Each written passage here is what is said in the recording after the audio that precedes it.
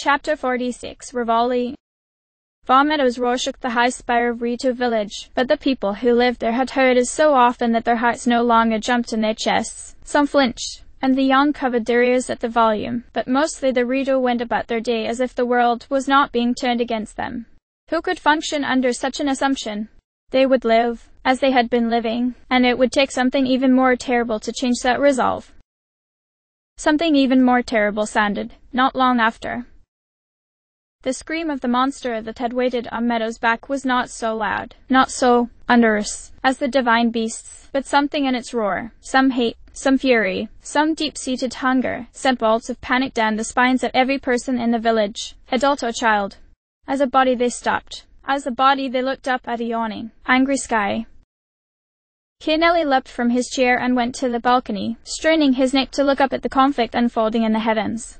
He was old, but his eyes were still very sharp, and so he could make out the shapes that danced in halos of roiling purple and radiant gold.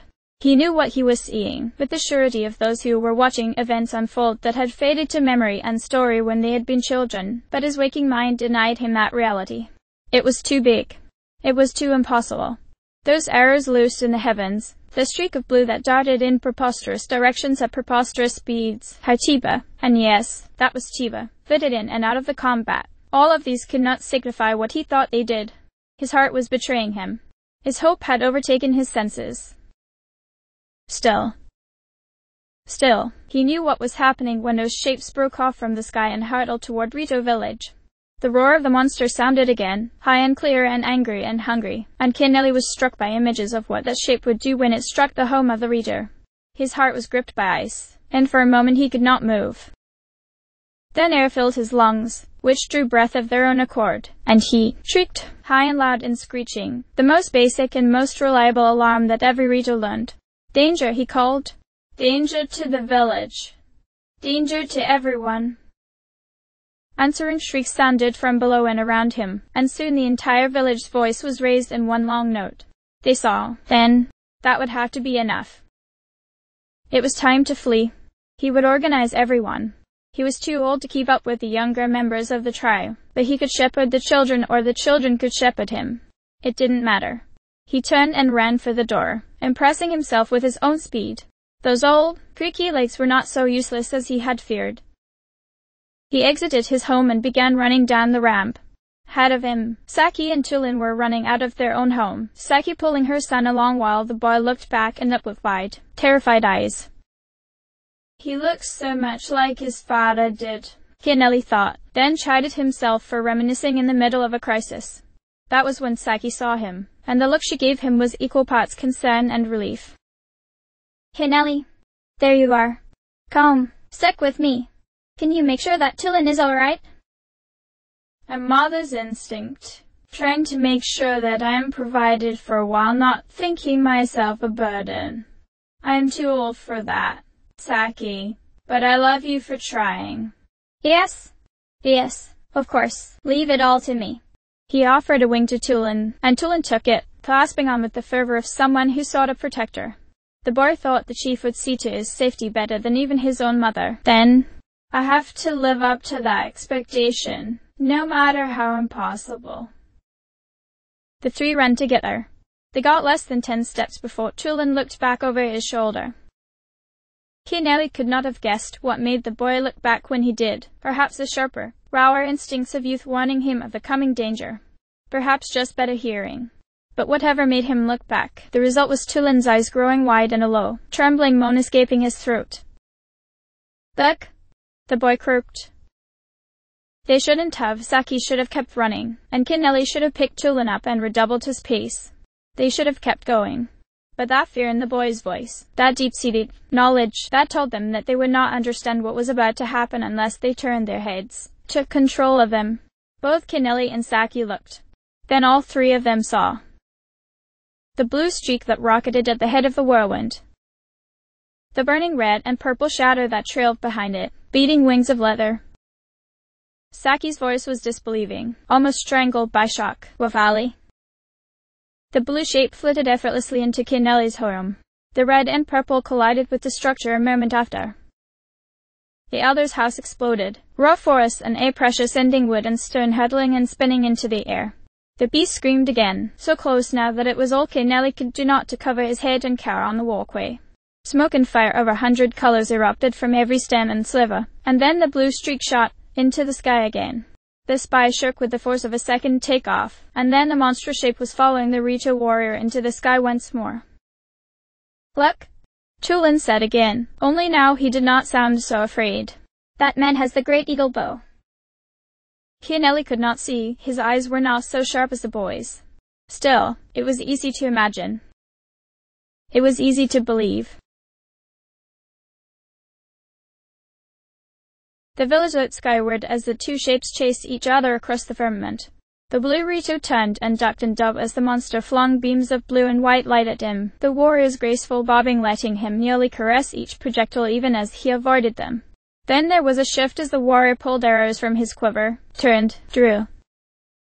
Explosions rocked the sky as three bomb arrows soared with every pull of the string, each volley striking home perfectly. There was no avoidance, there was no missing, and there was suddenly no doubt left as to what was happening. None of them had ever seen the war before, of course. Even Kaneli wasn't that old, to say nothing of everyone else. But they'd all heard the stories of a fighter so sublime that it was only in being deprived of his arms that he was defeated by an emissary of the calamity itself. That had been the favorite story of the Rito for a hundred years, the tragedy of the champions. Dull, yes, they knew Revali, and they stared up at his battle, and barely a breath was drawn among them. The rolling concussive eruptions continued as Revali led the Blight and Axe around the spire. The Blight's own projectiles were carefully lead, and any other warrior in the village would have died at the first shot, but no matter how well aimed, no matter how precisely predicted, none of the deadly attacks ever struck home. More, they did not strike the eyrie, either. Revali always kept himself aligned so that any blast sailed harmlessly away from the village, usually up and into the sky. The beast roared again, flexing its mighty wings, and with the beating of its limbs it summoned a maelstrom, a whirlwind of debris and fire that pulled at the air across the entire village, so that children clung in panic to their parents out of fear of being lifted away. Who could fly in such conditions, with a disaster worse than nature's own bearing down on them? Revali could. Vacuum was met with vacuum as Revali's gale drew on the wind of the Blight's maelstrom, and the Rito warrior wove the currents before diving directly at the beast. The village saw Revali plunge into the whirlwind and emerge, less than a second later, by smashing into the Blight's chest. A glowing blue sword was in his wing, and there were spurts of fire and blood as he carved into its chest. The Blight screamed, its own sword vanishing in a flash of fire as it reached for him, but he was already off and away. His laughter was loud and raucous, even more so than the beast's fury, and it was this laughter that proved to the people watching him who he must have been. Again the two traced arcs in the sky, Revali leading the Blight around and away before doubling back on it for another attack run. Dozens of bomb arrows exploded against its chest and its wings and its face, and the beast answered by firing the cannon bow on its leg indiscriminately in Revali's direction. The shots went wide, the spaces between them filled by the arcs of hissing explosives, and the village shook with the force of the bomb arrows hitting home. The whirlwinds that battled for supremacy in the air were the framing for the battle. Revali's gale was smaller, less powerful, but surgical in its precision, and every Rito on the ground could feel it in their guiding feathers as the warrior's skilled manipulation of the air created pathways for his attack and his retreat, as the beast's overwhelming power was brought to nothing by the careful application of precise degrees of force. Revali was fighting perfectly. Revali was winning against this monster. The Blight fired a shot and then three bomb arrows struck it directly in the eye. Its screech was cut off by the blast as its masthead was snapped backward, and it went momentarily limp in the air, beginning to fall. Revali dove after it. The monster recovered, righting itself and stopping its descent directly above the flooring of Revali's landing. Revali stopped in front of it, removed by four lengths of the monster's body. He hovered there, observing the blight, the gale welling around him, promising perfect quickness and precision of motion. Every eye in the village was on him, every ear attuned as he said to the wind blight, Annan, is that really the best you can do? I suppose I shouldn't be as disappointed as I am. Who could really expect a capering construct to stand a chance against a real warrior? The blights did not feel anger, they did not feel fear, they did not feel challenge. They were more like storms than they were like monsters, and trying to pause their reactions was like trying to pause the reactions of a landslide. Anyone who saw them understood this, not from observation, but because something about them spoke to the observer on a base, instinctual level. They were too grand, too evil, to be described with the emotions of thinking creatures beloved by the gods. If the blight felt anything, then the Rito could not put a name to it, much less understand. What they understood was that the armor of the beast's mask was segmented along its outer edge, and when Revali challenged the blight those segments broke away, floating into the air. The objects that rose and rotated were like arrowheads, or miniature versions of the Blight's cannon. There were six, and all of them were now pointed at Revali. The champion stared at them for a long moment. Then his eyes found the wind blight again. Is that supposed to be your answer? All six weapons fired their tiny lances of blue light. Revali rocketed into the air. The miniature cannons rotated, tracking him, and as their master pursued the champion they rose to follow. Revali spun, dancing through the many smaller projectiles that now filled the air. He tracked the trajectory of each, eyeing the mobile weapons that launched the attacks and predicting their firing angles just before they discharged. Revali, we can't keep this up. I beg to differ. Really, I'm just getting started. He had to fight the urge to laugh again. Look at the weapons. They're not bound to their master. He looked. She was right, of course. Now each of the six miniature cannons was darting off in various directions, each trained on him, and they were quick enough to track him even when he was moving with all speed, far quicker than the wind blight itself. Still, that didn't seem too much of a problem. Revali, if they find the right firing angle, they will fill the air with projectiles that you won't be able to completely avoid. Every time they fire, they draw closer to an ideal targeting solution. Aren't you just a ray of optimism? He muttered. He dove, and the interlacing lances of glowing death filled the air above him like a web. I would have been able to dodge all of those, never minding that I did just now. Yes, but they are drawing closer. You worry too much, he said. He did not even feel the speed at which his head was turning, his eyes taking in the relative position of each weapon several times every second. They were moving according to a pattern, which was probably being dictated by the predilections of the wool driving them. The wind blight probably didn't even realize it had an ingrained pattern for these motions. All the more pity for it. If Revali wanted to, he would have been able to destroy all of them before their next volley. I'm sorry, you would be able to. What? I didn't think that where you were supposed to be able to hear it, he said, irritated both at his own carelessness and at her unambiguous nosiness. Leave the problem in the air to the person who has some experience with it. Um? He kept tracking the weapons, now more mindful than ever of their positioning, and though he could feel Zelda nearly burst with the urge to scream at him, to take control and swat these attackers out of the air with celestial power, she restrained herself. Third, it was really much better when people recognized that they were operating outside of the area of expertise. He threw a look beyond the blight, beyond the weapons, to the sky, measured the distance, the speed, darted his eye away, having done all of this so quickly that Zelda wouldn't be able to register that he had done it. All right, he said. Now's the time. The time for what? The weapons fired.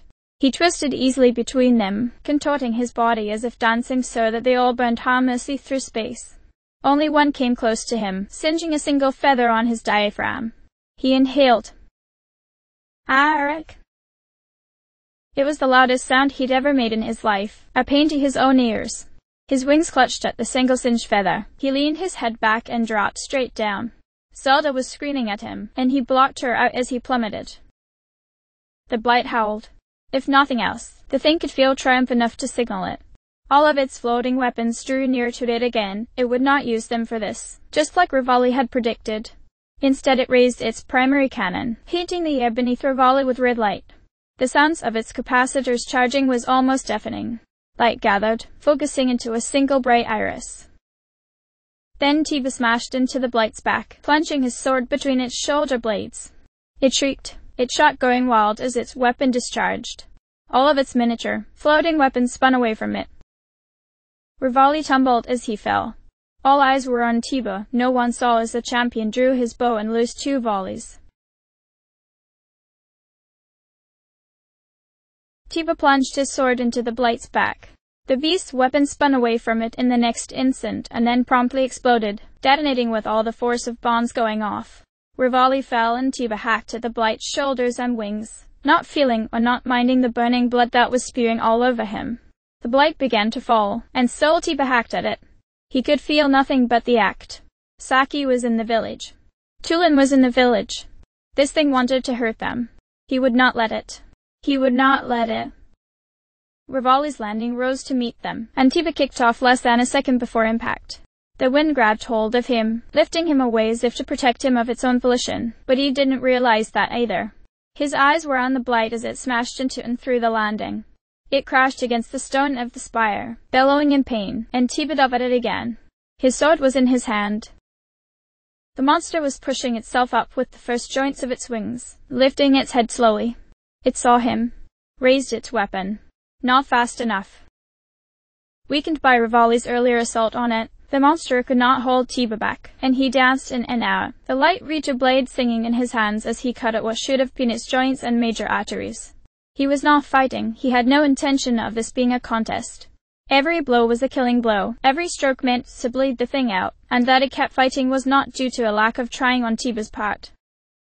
Its sword came up, and he tried to parry it, the force was colossal, tens of times what he expected, and he felt his shoulders scream under the impact as he was sent hurtling backward.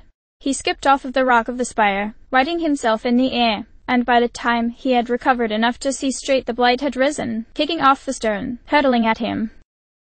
He climbed furiously, and its reaching claw sliced through the air that he had occupied only moments ago. Its teeth snapped up at him. He did not look down at it. He needed space.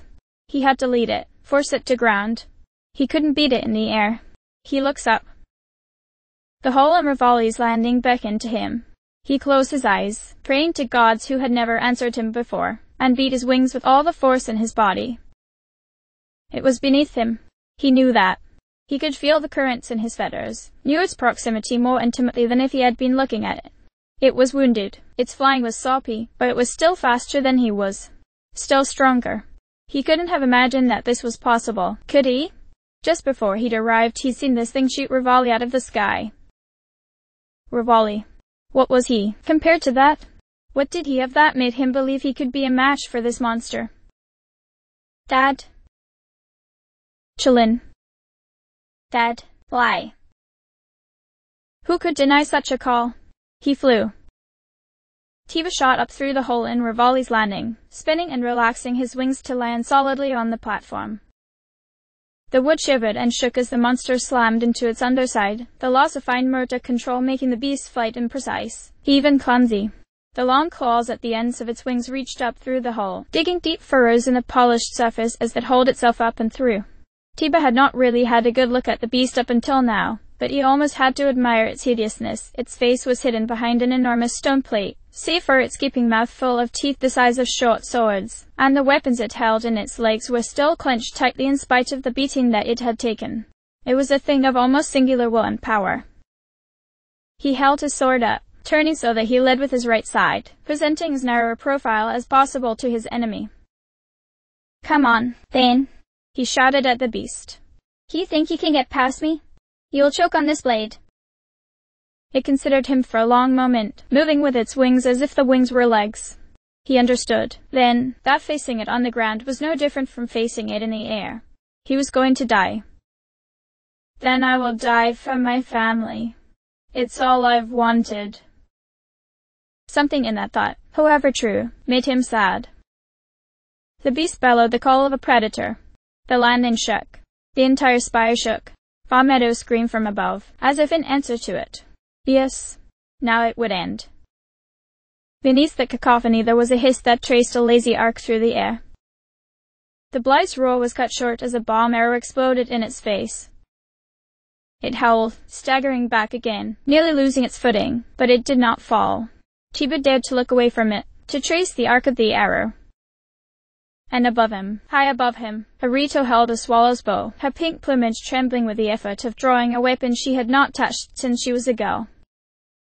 Saki. Rito! Kaneli's voice, echoing across everything. Then Teba really saw Saki had fired the first. but every man and woman in the village was gathered, bows in every wing. Nick, and Vala, and Jessane, and Huff, and Saki, and Amali. He stopped trying to count. They stood on every ridge, on the sides of houses, on rooftops, and every eye was focused on the monster who had come to their homes. Saki was knocking another bomb arrow, and everyone else had drawn their lines taut. Kaneli's voice echoed again. Attack! The sky trembled with their fury. The sound of bomb arrows striking the wind like cannon was a low rolling thunder that went on and on, never ceasing. The first impacts made the beast stagger, the ones that followed, a hail of fire and force, would have sent it into retreat. Would have. The beast staggered away, holding its wings over its head and back like a shield, and at its first step a more conventional arrow punched into the joint of its shoulder. It could not know, of course, that it was Teba who fired upon it then. Its wing gave out, and it fell with a scream that was drowned out as still more bomb arrows rained on it. Arrows were going wide, now, the heat and force of the explosions both making the blight impossible to see and prematurely detonating some of the projectiles, but this was no relief. Every eruption, near or far, still reached the monster, digging fingers of invisible force under its flesh, shaking the malice, clawing at its very bones. The heat and the eruptions sucked the air from beneath the eyrie and sent a roiling upraft shooting into the sky, twisting light into a hazy mirage that was almost impossible to see through. They were a village, and they protected themselves, but they were not an organized military force and they could not order themselves like one. That should not have mattered, but it meant that there was a gap. At one point, when too many people were readying a bomb arrows simultaneously, when there was a lull in the beating that the beast took. It shouldn't have mattered by all rights. The monster should have been grounded, and dead, and more, and a moment's chance should have been equivalent to nothing at all. But in that gap the beast leapt into the air, carried high on the updraft, and it screamed in pain and fury and triumph and brought his terrible weapon around, red light shining. No, it would be inappropriate to say that the Blights did not feel at all, or that they experienced no emotion that the average mind in Hyrule could not grasp. There was evidence to the contrary before the entire village. The wind blight traced the arc of the first bomber that had struck it, and there leveled its weapon. The capacitor in its arm sang as red light shone down on a pink-plumaged mother who shielded her eyes from the sudden radiance, unaware of death staring at her so openly. Teba did not cry out as the wind carried him up. The warrior slammed into the monster, driving his sword into the joint of its knee. It did not howl. It squealed. It bit. It clawed. Feathers and blood and stone and malice went out in a spray, and Teba was silent as he threw one wing out. The updraft pulled at him, and with that leverage he forced his blade to the side, and up, and there was a sound like a branch ripping free of its bough, a soft wet tearing sob. The blight flung Tib away, and the warrior spun skyward while Ganon's severed leg, light still shining from it, plummeted toward the landing. Malice spewed from it when it struck the flooring with a thud. The blight howled, looked up at Tib climbing above it. It saw as the wounded archer stared back down at it, eyes narrowed in something like triumph. It did not see the other Rito catching the updraft. Tid. Plain arrows struck it in the torso, in the wings, in the throat. Minuscule, meaningless things, but every blow was a spurt of malice, a gradual weakening. It did not flinch. It tried to attack. But the Rito were a whirling wall, the body of a gale written in feathers and talons and arrows, and as it swung its sword its back was decorated with wooden shafts. Many punched clean through its wings, leaving minuscule holes, holes that connected, touched, through. The blight howled and plummeted and cast swept by, not to attack but seeking his daughters. Unwin Ganon struck Revali's landing the bard landed next to Kaneli and shielded his children, all the village children, with his body, no war, he, but his parental instinct was irresistible. No one came near to the blight, now. From above it rained arrows, both plain and explosive, and the impact shook Revali's landing. The beast tried to crawl, now, and was pummeled into motionlessness by the fury of a village, of a nation, and all its darkness could not hold back that assault. The landing cracked, the wood smoking and heaving as its support structures were slowly shaken apart. The blight reached out, seeking with a tendril of darkness, and this, too, was struck by bomb arrows, and the monster was obscured by the light of the explosions. Perched just out of sight on one of the walls of the spire, Revali watched. Zelda watched with him, a silent observer, but he was not showing her. In truth, he was seeing for himself. Do you see them? He asked her, and his voice was quiet and reverent but controlled, even. Not unmoved, but certainly not emotional. I do, she answered him. He closed his eyes, some smoke was irritating them. It was not the sight before him that he could not bear to take in, that filled his heart until it was too full to stay in his chest, it could never be that. He could hear, though, as the readers shouted out commands and instructions and warnings to one another, as they ran to get fresh arrows for the self-assigned warriors, at each of them, in their courage, fought to protect their home, fought and won. Aren't they beautiful? A crack, louder than all the rest. Revali opened his eyes. His landing broke, flaming detritus falling down the face of the spire. The blight was falling too, pawing at the air with tattered wings, engulfed in fire, trailing smoke and malice. It wouldn't be enough. No physical force would be sufficient to kill the blight, now. But for one moment, just the space between Zelda's heartbeats, he let himself pretend that it was. That his people had killed the beast. End this for them, he said. Show them that the gods actually care. He seated control back, sinking into that shadowy space they shared. Enormous golden wings erupted from Zelda's back, greater than the blight's, as richly feathered as Arita's, and she launched herself after the falling monster. The golden power was in her hand.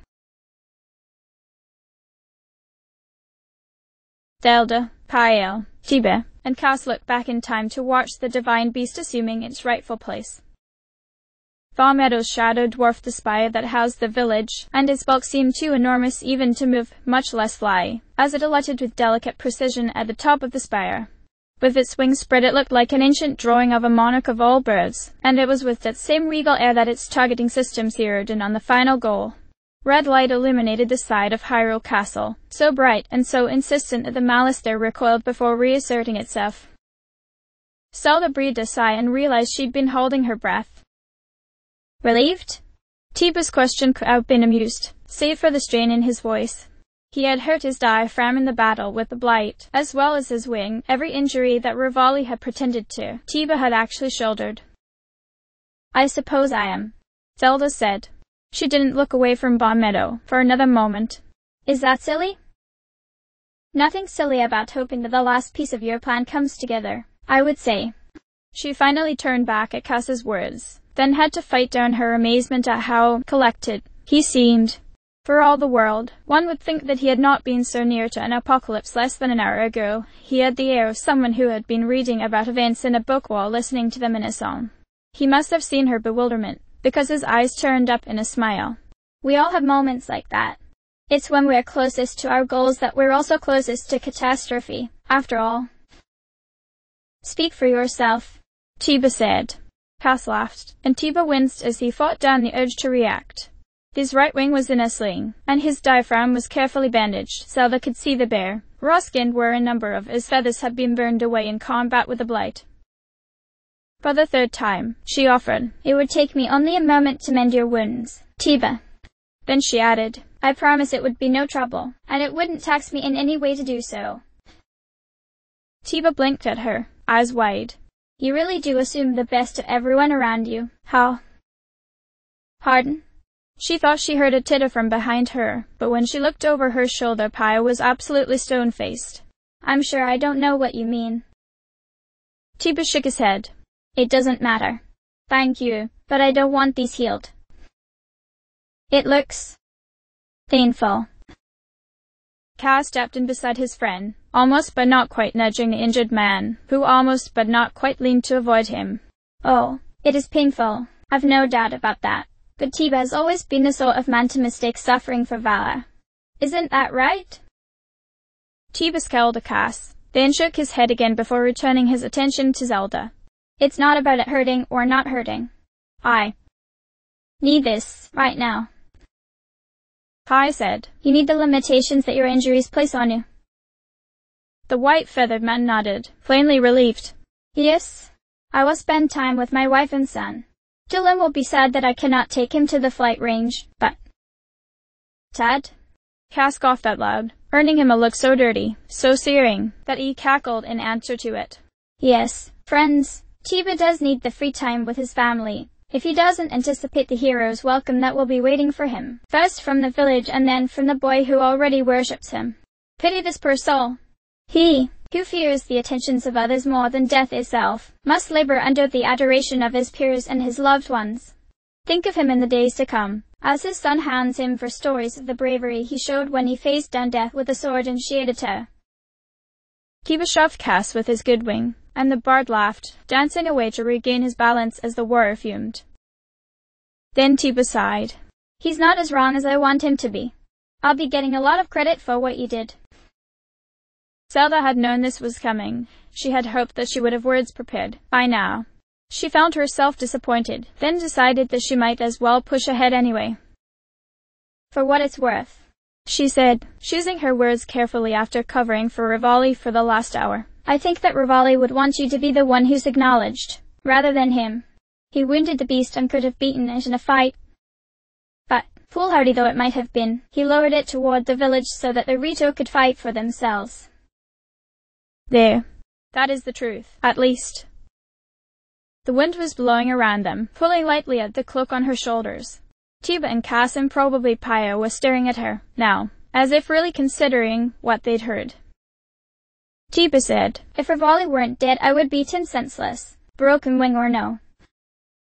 Kass looked thoughtful, still smiling as he spoke. I would help. Still, it's quite the thought, isn't it? That you channeled the spirit of an almost invincible hero, armed him with power greater than he had in life, gave him the opportunity for perfect and absolute glory. And he consigned himself to ignominy instead, making himself the fool, a mere foil to Teba, who led the Rito to victory on their own terms. Zelda realized that the color had risen in her own face. The shame was proof enough of culpability, she thought. She bowed low at her waist, hands clasped in front of her. I cannot possibly express my sorrow at having been party to that endangerment. I know that I cannot make amends for what happened, but I hope that. Enough? Teba said, and his weariness was so obvious that Zelda felt another rush of shame. Come now, Teba, can't you see that the girl is distraught? Here, Zelda, stand up. No more of this buying. Kass's wing gently tapped her shoulder, and she straightened. There, much better. Still, I know your type. Not so far removed from Teba, are you? It's not enough to be contrite or to work to fix things. You want us to feel better. And for Hylian royals, in every history I've ever learned, that usually means you assume you need to shoulder some punishment. Though. Kass's plumage really was beautiful. He lifted one wing in front of her face, and she was so struck by the colors that she didn't notice as he bent one stiff feather against another, and then flicked her nose. Ah, uh, she recoiled, stars dancing in her eyes as she instinctively covered her face with her hands. Kass laughed again. Judgment had been passed and carried out. He turned to Teba. Would you agree she had paid her debt to society? A ma'am.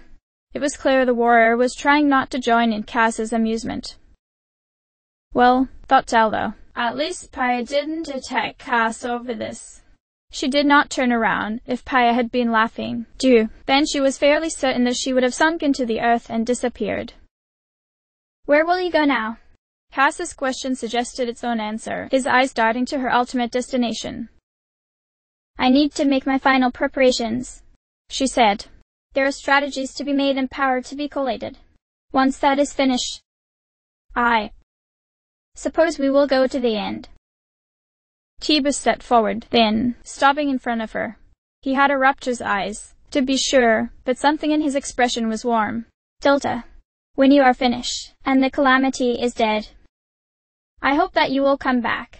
You're leaving in a hurry, but we'll want to celebrate you. Saki will want to cook for you, if nothing else. Something in that promise pierced the firmament of Zelda's heart. She didn't show that, though, she was confident in her voice and her expression when she said to him, Treat her well. Teba nodded solemnly, bowing to the princess. Zelda and Paya bowed in return, then walked across the long bridge away from the village. They did not look back, so they did not see how long Teba and Kass stood watching them go. Vah Medoh perched above the valley. Below it, the Rito rose into the air all around the spire, filling the heavens. End of chapter.